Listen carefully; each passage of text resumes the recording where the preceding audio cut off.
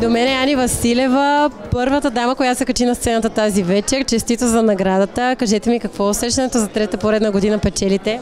Благодаря много. Наистина не съм очаквала това, което казах на сцената преди 3 години, даже може би 4, още когато бях втори курс, просто а, гледах състезанието и си мечтах да участвам. Това беше мечтата ми да участвам. А, изобщо не съм си мислила, че мога да участвам три пъти и да спечеля три пъти.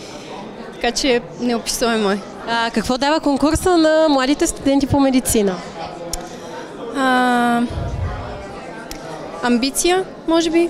По-голяма амбиция да стимул да се развиват и а, да участват в а, такива състезания. Според мен това е много полезно. Дори, дори да не спечелиш, а, важното е участието. Има ли някой на когото бихте искали персонално да благодарите за вашия успех? Естествено, това е моят ментор, доктор Венци Станков. Дължа всичко на него. Това е човека, който ме е изградил като не само в професията, но и личностно.